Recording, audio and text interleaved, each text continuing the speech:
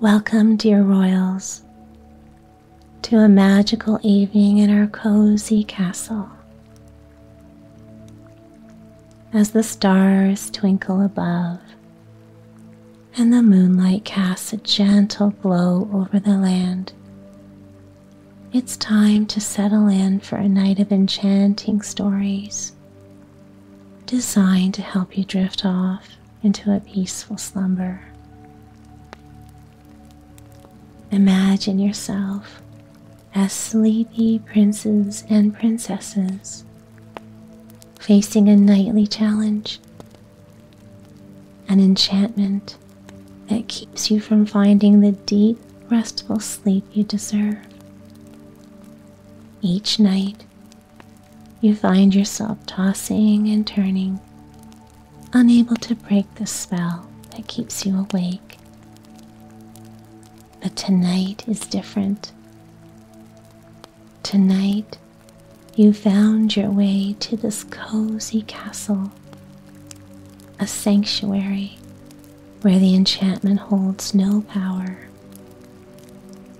Here you are safe and sound, surrounded by the warmth and comfort of soft pillows and a crackling fireplace. Take a deep breath in and let the worries of the day melt away.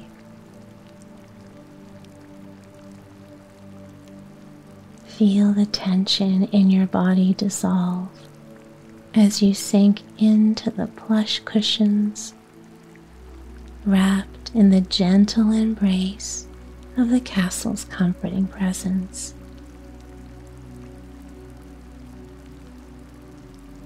As you close your eyes, and imagine yourself as the sleepy royals. Know that you are not alone. Many princes and princesses have come before you, each finding solace in our cozy castle, listening to tales of bravery, kindness, and adventure.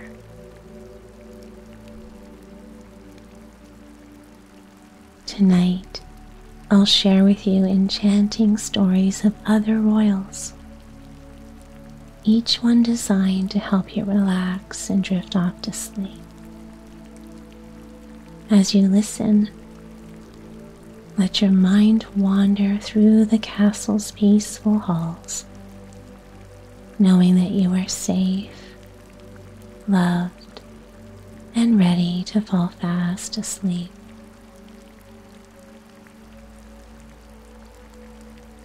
So, dear royals, close your eyes, take a deep breath, and let the magic of the stories guide you to a restful night's sleep. The enchantment will fade away, and you'll find yourself embraced by the cozy comfort of our castle ready to dream of wonderful adventures. Sweet dreams, dear princes and princesses. Let us begin this magical journey together.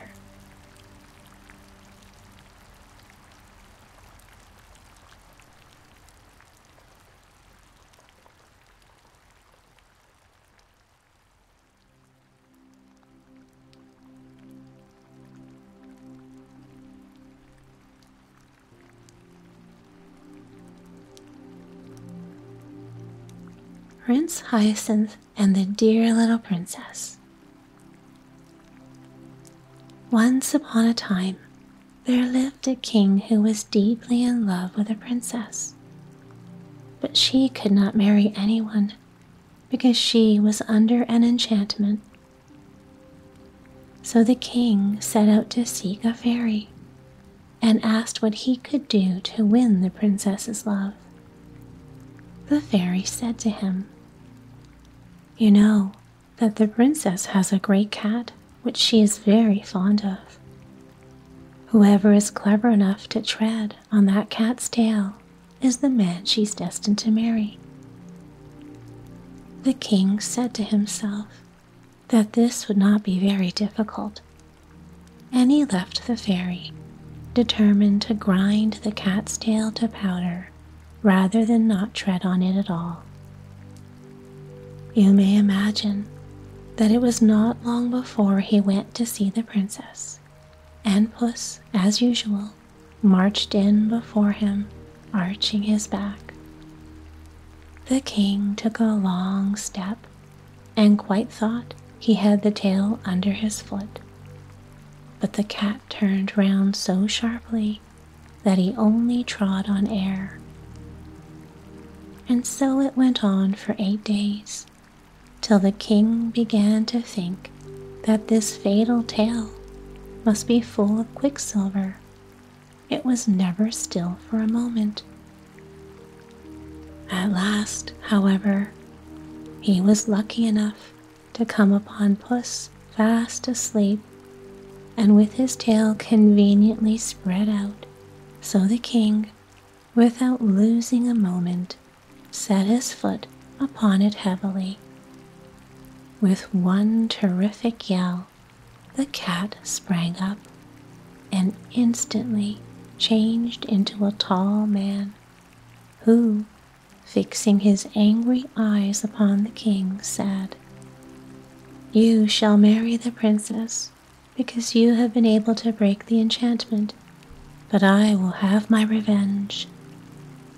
You shall have a son who will never be happy until he finds out that his nose is too long. And if you ever tell anyone what I have just said to you, you shall vanish away instantly and no one shall ever see you or hear of you again. Though the king was horribly afraid of the enchanter, he could not help laughing at his threat. If my son has such a long nose as that, he said to himself, he must always see it or feel it, at least if he is not blind or without hands. But as the enchanter had vanished, he did not waste any more time in thinking, but went to seek the princess, who very soon consented to marry him. But after all, they had not been married very long when the king died, and the queen had nothing left to care for but her little son, who was called Hyacinth. The little prince had large blue eyes the prettiest eyes in the world, and a sweet little mouth. But alas, his nose was so enormous that it covered half his face. The queen was inconsolable when she saw this great nose, but her ladies assured her that it was not really as large as it looked, that it was a Roman nose and you had only to open any history to see that every hero has a large nose. The queen, who was devoted to her baby, was pleased with what they told her, and when she looked at Hyacinth again, his nose certainly did not seem to quite so large. The prince was brought up with great care, and as soon as he could speak, they told him all sorts of dreadful stories about people who had short noses. No one was allowed to come near him whose nose did not more or less resemble his own, and the courtiers, to get into favor with the queen, took to pulling their babies' noses several times every day to make them grow long. But do what they do, they were nothing by comparison with the prince's. When he grew sensible, he learned history. And whenever any great prince or beautiful princess was spoken of, his teachers took care to tell him that they had long noses. His room was hung with pictures, all of people with very large noses, and the prince grew up so convinced that a long nose was a great beauty that he would not on any account have had his own a single inch shorter. When his twentieth birthday was past, the queen thought it was time that he should be married. So she commanded that the portraits of several princesses should be brought for him to see, and among the others was a picture of the dear little princess. Now, she was the daughter of a great king, and would some day possess several kingdoms herself.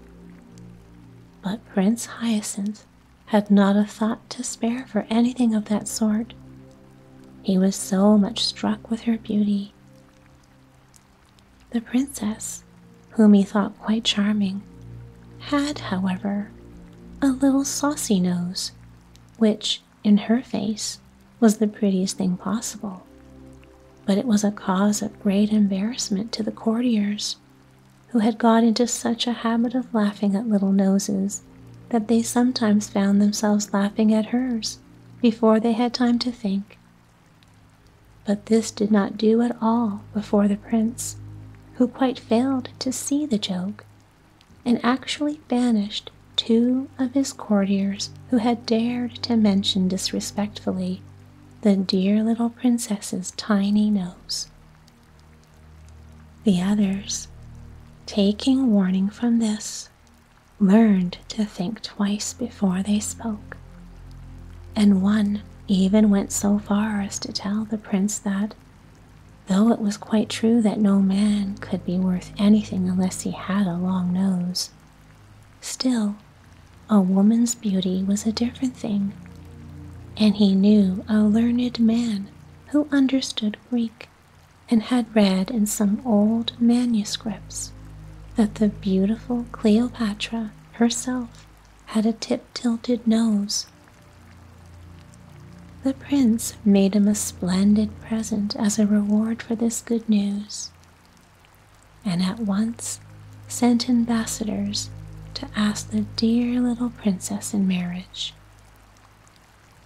The king, her father, gave his consent, and Prince Hyacinth, who, in his anxiety to see the princess, had gone three leagues to meet her, was just advancing to kiss her hand, when, to the horror of all who stood by, the enchanter appeared as suddenly as a flash of lightning, and, snatching up the dear little princess, whirled her away out of their sight.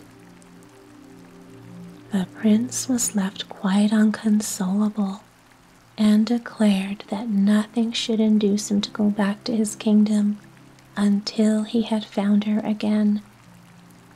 And refusing to allow any of his courtiers to follow him, he mounted his horse and rode sadly away, letting the animal choose his own path. So it happened that he came presently to a great plain, across which he rode all day long without seeing a single house, and horse and rider were terribly hungry when, as the night fell, the prince caught sight of a light which seemed to shine from a cavern. He rode up to it and saw a little old woman who appeared to be at least a hundred years old. She put on her spectacles to look at Prince Hyacinth, but it was quite a long time before she could fix them securely because her nose was so very short. The prince and the fairy, for that was who she was, had no sooner looked at one another than they went into fits of laughter and cried at the same moment, Oh, what a funny nose!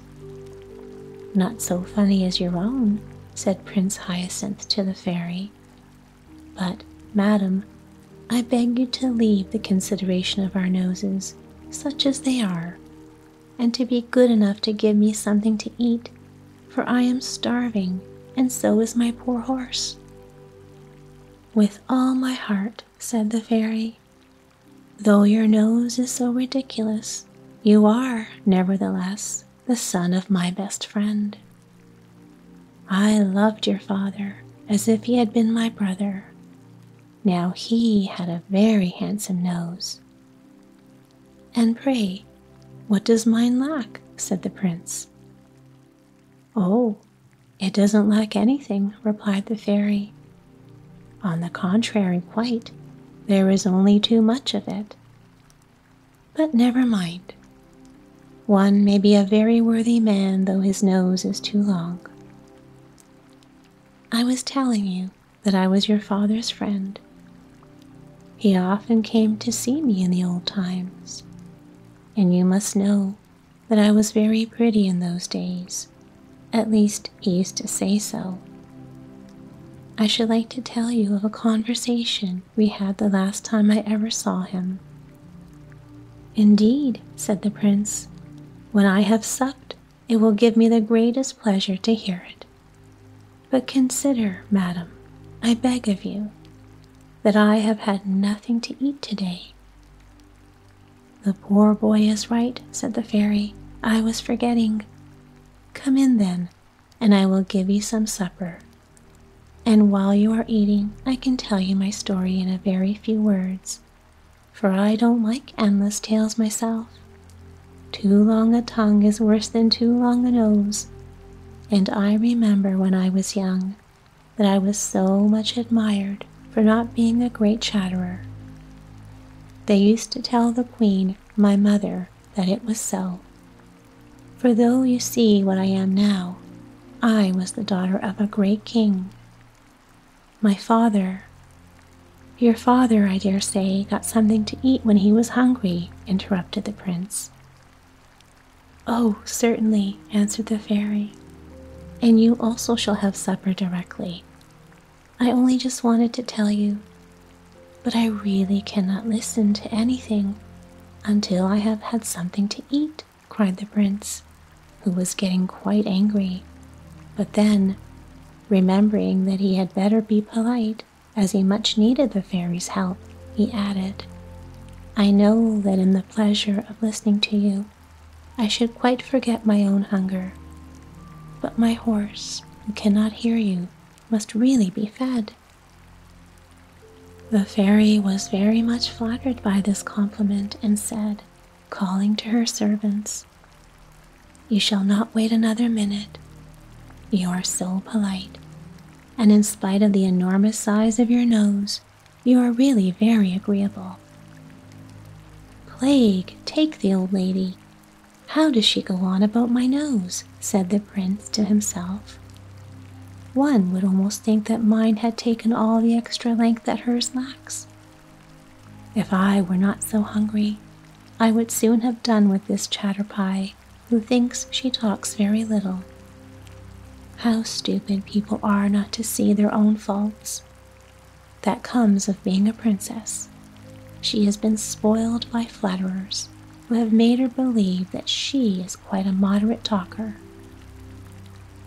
Meanwhile, the servants were putting the supper on the table, and the prince was much amused to hear the fairy, who asked them a thousand questions simply for the pleasure of hearing herself speak.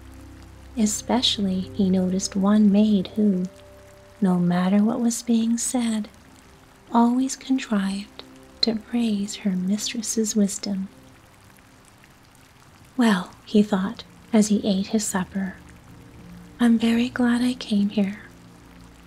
This just shows me how sensible I have been in never listening to flatterers. People of that sort praise us to our faces without shame and hide our faults or change them into virtues. For my part, I will never be taken in by them. I know my own defects, I hope. Poor Prince Hyacinth. He really believed what he said and hadn't an idea that the people who had praised his nose were laughing at him just as the fairy's maid was laughing at her, for the prince had seen her laugh slyly when she could do so without the fairy's noticing her. However, he said nothing, and presently, when his hunger began to be appeased, the fairy said, My dear prince, might I beg you to move a little more that way, for your nose casts such a shadow that I really cannot see what I have on my plate. Now let us speak of your father. When I went to his court, he was only a little boy, but that is forty years ago, and I have been in this desolate place ever since. Tell me, what goes on nowadays? Are the ladies as fond of amusement as ever? In my time, one saw them at parties, theaters, balls, and promenades every day. Dear me, what a long nose you have! I cannot get used to it. Really, madam, said the prince, I wish you would leave off mentioning my nose. It cannot matter to you what it is like. I am quite satisfied with it and have no wish to have it shorter. One must take what is given one. Now you are angry with me, my poor Hyacinth, said the fairy, and I assure you that I didn't mean to vex you. On the contrary, I wished to do you a service. However, though I really cannot help your nose being a shock to me, I will try not to say anything about it. I will even try to think that you have an ordinary nose. To tell the truth, it would make three reasonable ones. The prince, who was no longer hungry, grew so impatient at the fairy's continual remarks about his nose that at last he threw himself upon his horse and rode hastily away but wherever he came in his journeyings, he thought the people were mad, for they all talked of his nose, and yet he could not bring himself to admit that it was too long. He had been so used all his life to hear it called handsome. The old fairy, who wished to make him happy, at last hit upon a plan. She shut the dear little princess up in a palace of crystal and put this palace down where the prince would not fail to find it. His joy at seeing the princess again was extreme, and he set to work with all his might to try to break her prison. But in spite of all his efforts, he failed utterly. In despair, he thought at least that he would try to get near enough to speak to the dear little princess, who, on her part, stretched out her hand that he might kiss it. But turn which way he might, he never could raise it to his lips, for his long nose always prevented it. For the first time, he realized how long it really was and exclaimed, Well, it must be admitted that my nose is too long. In an instant, the crystal prison flew into a thousand splinters, and the old fairy, taking the dear little princess by hand, said to the prince, Now, say if you are not very much obliged to me. Much good it was for me to talk to you about your nose you would never have found out how extraordinary it was if it hadn't hindered you from doing what you wanted to do. You see how self love keeps us from knowing our own defects of mind and body? Our reason tries in vain to show them to us. We refuse to see them till we find them in the way of our interests. Prince Hyacinth whose nose was now just like anyone's else, did not fail to profit by the lesson he had received. He married the dear little princess, and they lived happily ever after.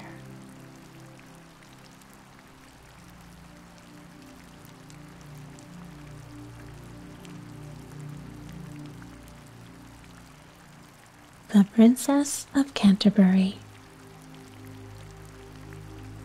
There lived formerly in the county of Cumberland a nobleman who had three sons, two of whom were comely and clever youths, but the other a natural fool named Jack, who was generally engaged with the sheep.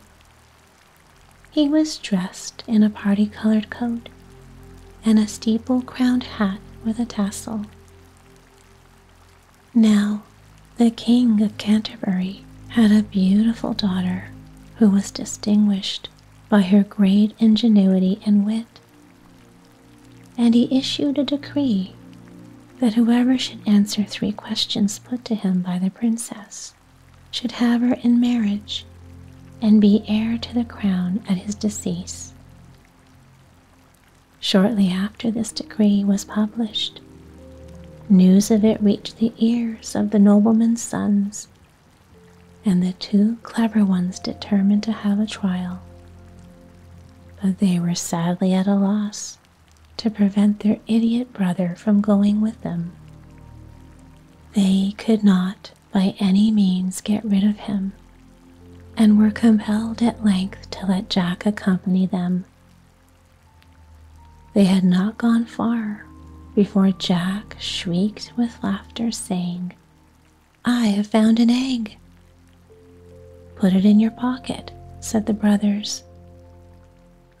A little while afterwards, he burst out into another fit of laughter on finding a crooked hazel stick, which he also put in his pocket. And a third time, he again laughed extravagantly because he found a nut. That also was put with his other treasures. When they arrived at the palace, they were immediately admitted on mentioning the nature of their business and were ushered into a room where the princess and her suite were sitting. Jack, who never stood on ceremony, bawled out, What a troop of fair ladies we've got here! Yes, said the princess, we are fair ladies, for we carry fire in our bosoms. Do you? said Jack. Then roast me an egg, pulling out the egg from his pocket.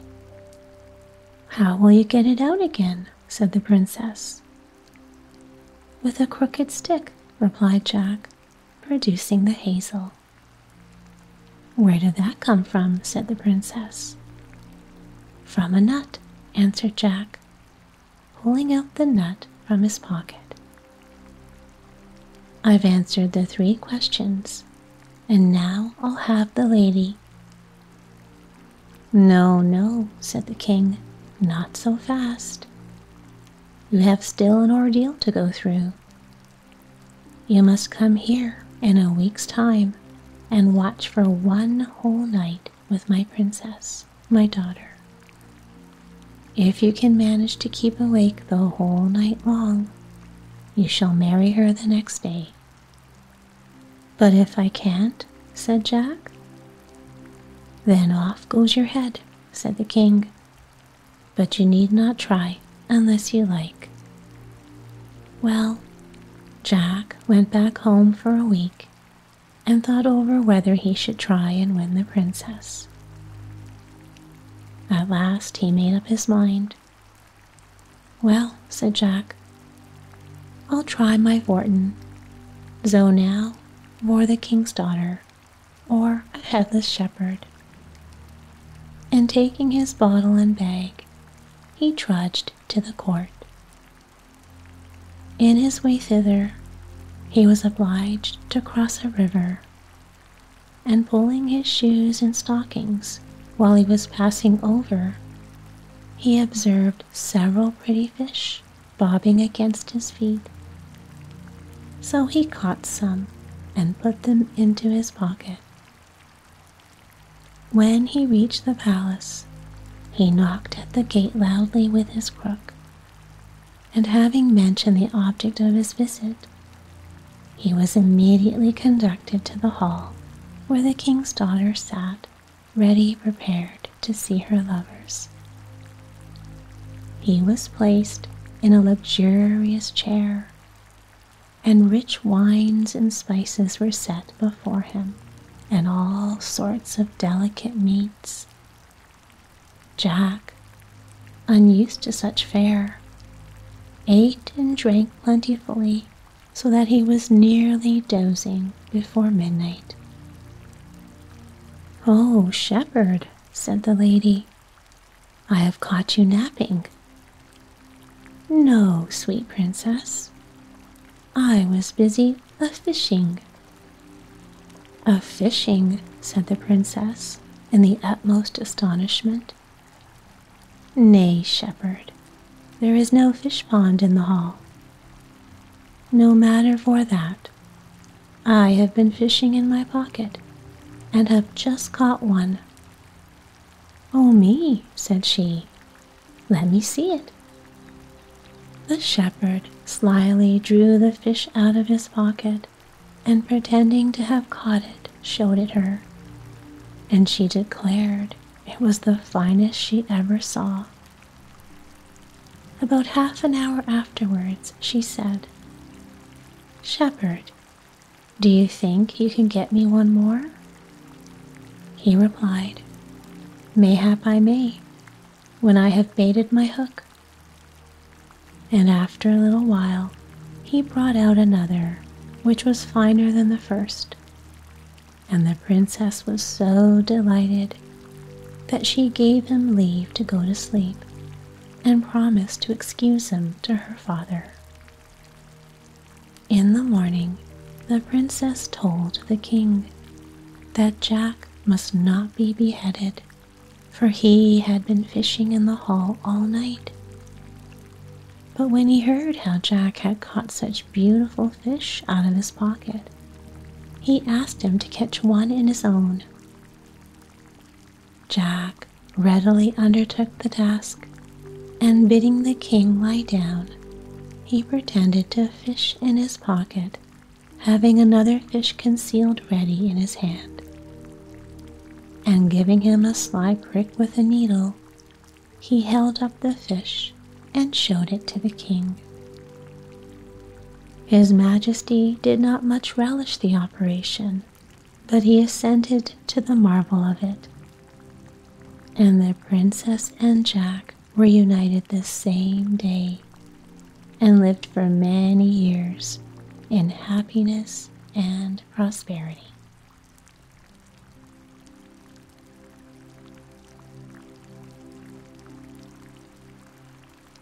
The Twelve Dancing Princesses.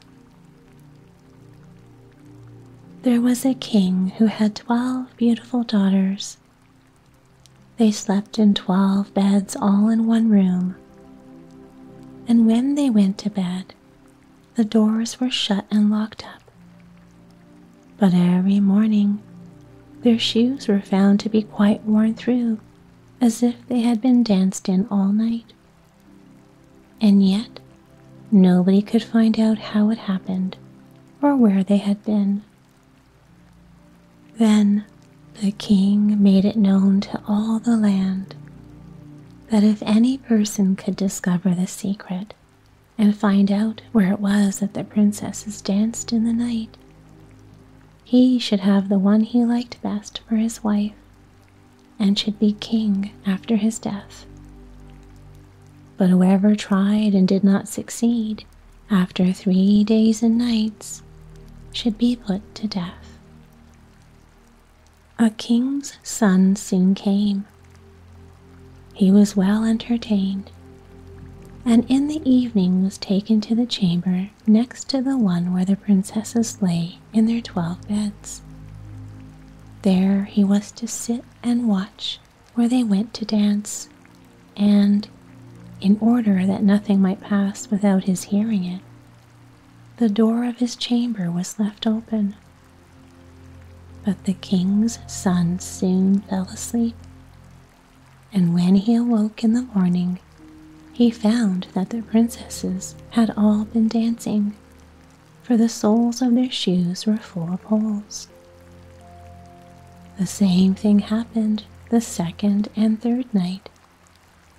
So the king ordered his head to be cut off. After him came several others, but they had all the same luck and all lost their lives in the same manner. Now it chanced that an old soldier who had been wounded in battle and could fight no longer passed through the country where his king reigned. And as he was traveling through a wood, he met an old woman who asked him where he was going. I hardly know where I'm going or what I had better do, said the soldier.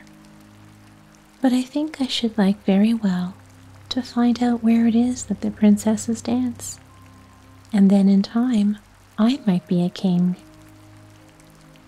Well, said the old dame, that is no very hard task.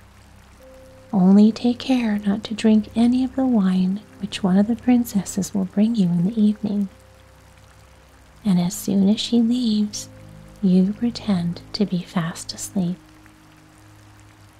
Then she gave him a cloak and said, As soon as you put that on, you will become invisible, and you will then be able to follow the princesses wherever they go. When the soldier heard all this good counsel, he determined to try his luck. So he went to the king and said he was willing to undertake the task. He was well as received as the others had been, and the king ordered fine royal robes to be given him. And when the evening came, he was well received as the others had been, and the king ordered fine royal robes to be given him. And when the evening came, he was led to the outer chamber. Just as he was going to lie down, the eldest of the princesses brought him a cup of wine. But the soldier threw it all away secretly, taking care not to drink a drop. Then he laid himself down on his bed and in a little while began to snore very loud as if he was fast asleep. When the twelve princesses heard this, they laughed heartily, and the eldest said, This fellow too might have done a wiser thing than lose his head in this way. Then they rose up and opened their drawers and boxes and took out all their fine clothes and dressed themselves at the glass and skipped about as if they were eager to begin dancing. But the youngest said, I don't know how it is. While you are so happy, I feel very uneasy. I am sure some mischance will befall us. You simpleton, said the eldest. You are always afraid. Have you forgotten how many kings' sons have already watched in vain? And as for this soldier, even if I had not given him his sleeping draught, he would have slept soundly enough. When they were all ready, they went and looked at the soldier, but he snored on and did not stir hand or foot. So they thought they were quite safe. And the eldest went up to her own bed and clapped her hands and the bed sank into the floor, and a trapdoor flew open. The soldiers saw them going down through the trapdoor one after another, the eldest leading the way. And thinking he had no time to lose, he jumped up, put on the cloak which the old woman had given him, and followed them. But in the middle of the stairs, he trod on the gown of the youngest princess, and she cried out to her sisters, All is not right. Someone took hold of my gown. You silly creature, said the eldest. It is nothing but a nail in the wall. Then down they all went, and at the bottom they found themselves in a most delightful grove of trees, and the leaves were all of silver and glittered and sparkled beautifully. The soldier wished to take away some token of the place, so he broke off a little branch, and there came a loud noise from the tree. Then the youngest daughter said again, I am sure all is not right.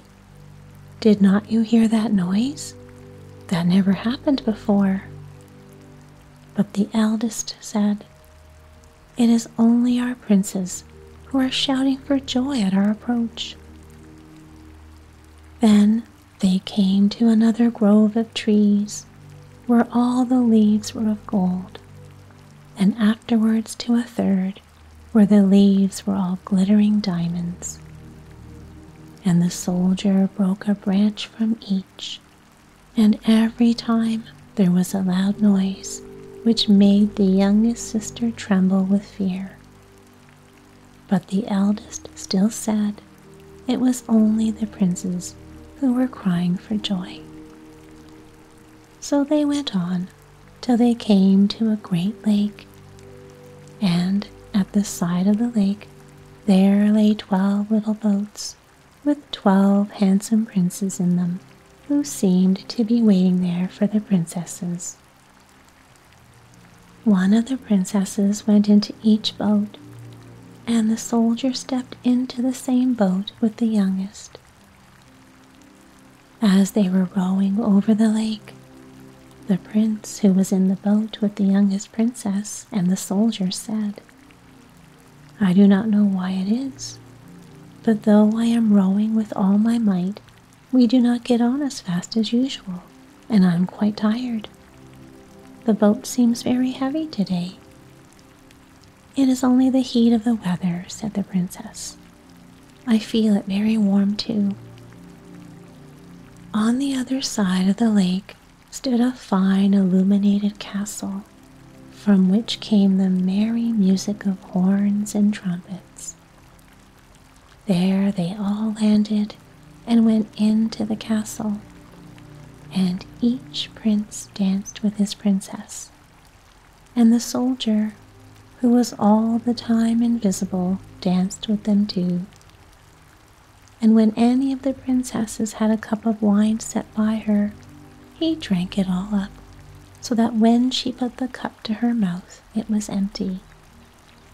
At this, too, the youngest sister was terribly frightened, but the eldest always silenced her. They danced on till three o'clock in the morning, and then all their shoes were worn out, so that they were obliged to leave off the princes rowed them back again over the lake, but this time the soldier placed himself in the boat with the eldest princess, and on the opposite shore they took leave of each other, the princesses promising to come again the next night. When they came to the stairs, the soldier ran on before the princesses and laid himself down and as the twelve sisters slowly came up, very much tired, they heard him snoring in his bed, so they said, Now all is quite safe. Then they undressed themselves, put away their fine clothes, pulled off their shoes, and went to bed. In the morning, the soldier said nothing about what had happened but determined to see more of this strange adventure, and went again the second and third night, and everything happened just as before. The princesses danced each time till their shoes were worn to pieces, and then returned home. However, on the third night, the soldier carried away one of the golden cups as a token of where he had been. As soon as the time came when he was to declare his secret, he was taken before the king with the three branches and the golden cup. And the twelve princesses stood listening behind the door to hear what he would say. And when the king asked him, Where do my twelve daughters dance at night? he answered, With twelve princes in a castle underground.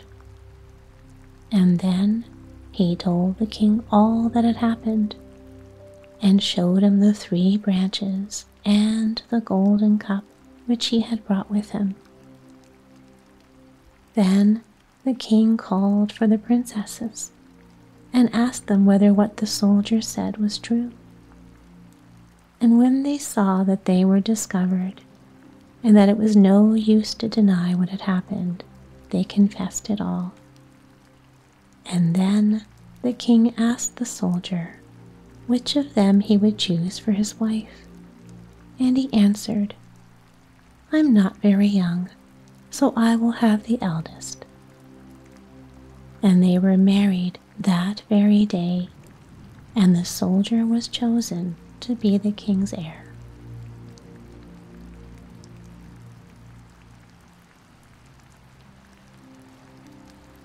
The Frog Prince In the olden time, when wishing was having, there lived a king whose daughters were all beautiful. But the youngest was so exceedingly beautiful that the sun himself, although he saw her very often, was enchanted every time she came out into the sunshine. Near the castle of this king was a large and gloomy forest, and in the midst stood an old lime tree, beneath whose branches splashed a little fountain. So, whenever it was very hot, the king's youngest daughter ran off into this wood and sat down by the side of this fountain and when she felt dull, would often divert herself by throwing a golden ball up in the air and catching it, and this was her favorite amusement.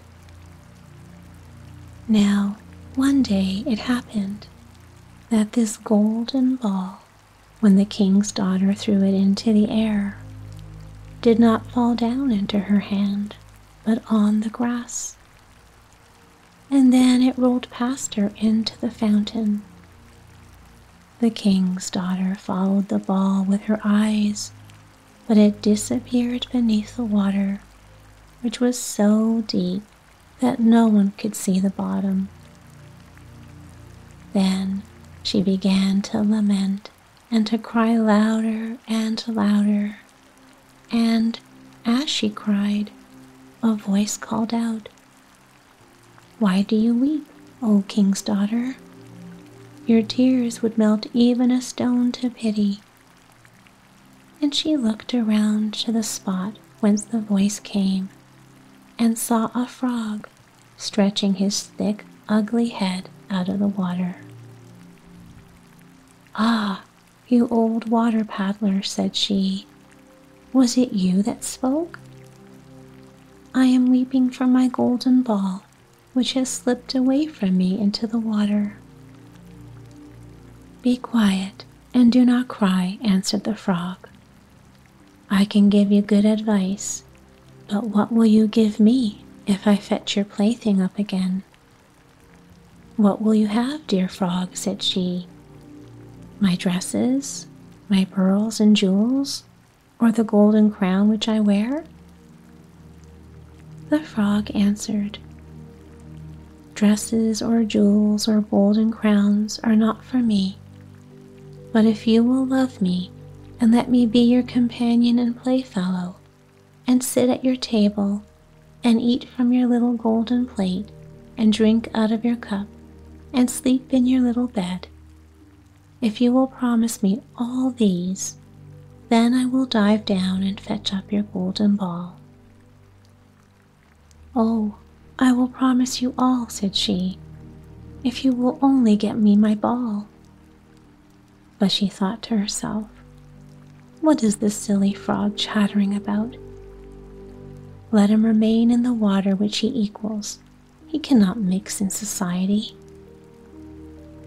But the frog, as soon as he had received her promise, drew his head under the water and dived down. Presently he swam up again with the ball in his mouth and threw it on the grass. The king's daughter was full of joy when she again saw her beautiful plaything, and, taking it up, she ran off immediately. Stop! Stop! cried the frog. Take me with you. I cannot run as you can. But all his croaking was useless. Although it was loud enough, the king's daughter did not hear it, but, hastening home, soon forgot the poor frog, who was obliged to leap back into the fountain. The next day, when the king's daughter was sitting at the table with her father and all his courtiers, and was eating from her own little golden plate, something was heard coming up the marble stairs. Splish splash, splish splash. And when it arrived at the top, it knocked at the door, and a voice said, Open the door, youngest daughter of the king. So she rose and went to see who it was that called her.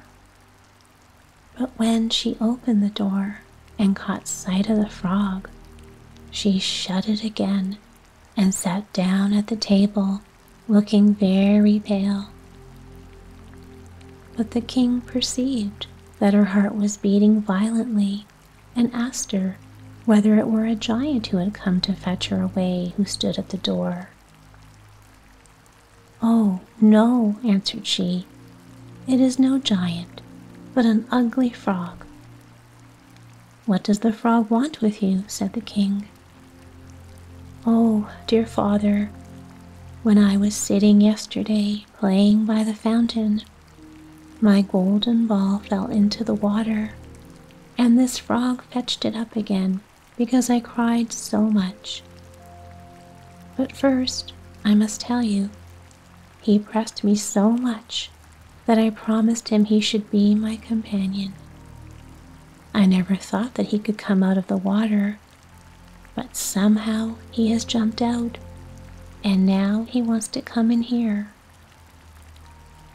At that moment, there was another knock, and a voice said, King's daughter, youngest, open the door. Have you forgotten your promises made at the fountain so clear, neath the lime tree's shade?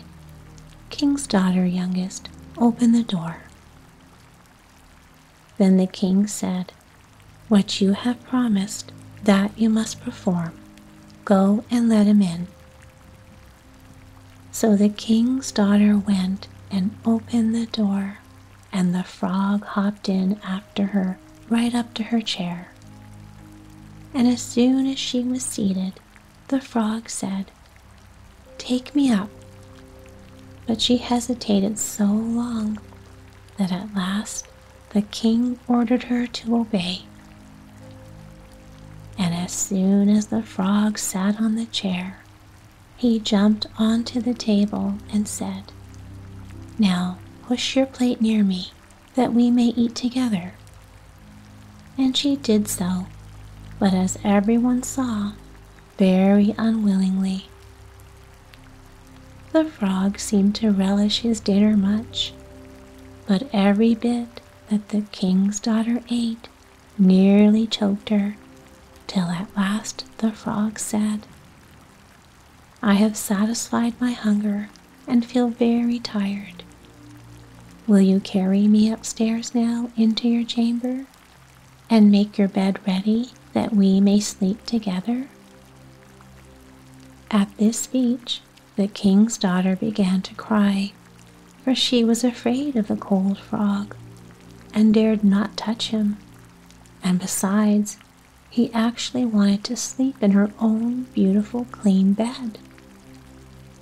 But her tears only made the king very angry, and he said, He who helped you in the time of your trouble must not now be despised. So she took the frog up with two fingers and put him in a corner of her chamber. But as she lay in her bed, he crept up to it and said, I am so very tired that I shall sleep well. Do take me up, or I will tell your father. This speech put the king's daughter in a terrible passion, and catching the frog up, she threw him with all her strength against the wall, saying, Now, will you be quiet, you ugly frog? But as he fell, he was changed from a frog into a handsome prince with beautiful eyes, who, after a little while, became, with her father's consent, her dear companion and betrothed. Then he told her how he had been transformed by an evil witch, and that no one but herself could have had the power to take him out of the fountain, and that on the morrow they would go together into his own kingdom.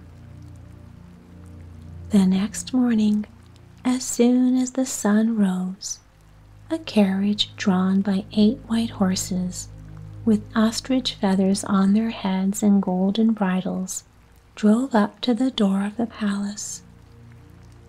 And behind the carriage stood the trusty Henry, the servant of the young prince when his master was changed into a frog. Trusty Henry had grieved so much that he had bound three iron bands round his heart for fear it should break with grief and sorrow. But now that the carriage was ready to carry the young prince to his own country, the faithful Henry helped in the bride and bridegroom and placed himself in the seat behind full of joy at his master's release. They had not proceeded far when the prince heard a crack as if something had broken behind the carriage. So he put his head out of the window and asked Henry what was broken. And Henry answered, It was not the carriage, my master, but a band which I bound round my heart when it was in such grief because you were changed into a frog.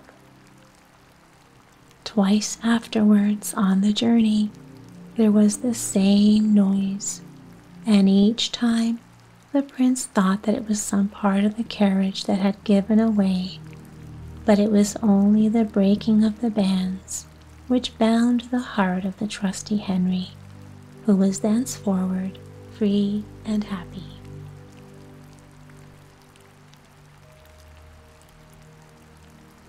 The Princess and the Pea. There was once a prince who wished to marry a princess, then she must be a real princess. He traveled all over the world in hopes of finding such a lady, but there was always something wrong. Princesses he found in plenty but whether they were real princesses, it was impossible for him to decide. For now one thing, now another, seemed to him not quite right about the ladies. At last, he returned to his palace quite cast down because he wished so much to have a real princess for his wife. One evening, a fearful tempest arose.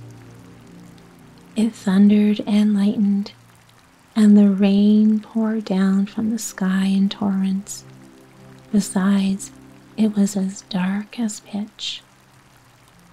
All at once, there was heard a violent knocking at the door, and the old king, the prince's father, went out himself to open it. It was a princess who was standing outside the door. What with the rain and the wind, she was in sad condition. The water trickled down from her hair, and her clothes clung to her body. She said she was a real princess. Ah, we shall soon see that, thought the old Queen Mother. However, she said not a word of what she was going to do, but went quietly into the bedroom, took all the bedclothes off the bed, and put three little peas on the bedstead. She then laid twenty mattresses, one upon another, over the three peas, and put twenty feather beds over the mattresses. Upon this bed, the princess was to pass the night. The next morning, she was asked how she had slept. Oh, very badly indeed, she replied. I have scarcely closed my eyes the whole night through. I do not know what was in my bed, but I had something hard under me and am all over black and blue. It has hurt me so much. Now, it was plain that the lady must be a real princess, since she had been able to feel the three little peas through the twenty mattresses and twenty feather beds. None but a real princess could have had such a delicate sense of feeling. The prince accordingly made her his wife, being now convinced that he had found a real princess. The three peas were, however, put into the cabinet of curiosities, where they are still to be seen, provided they are not lost. Wasn't this a lady of real delicacy?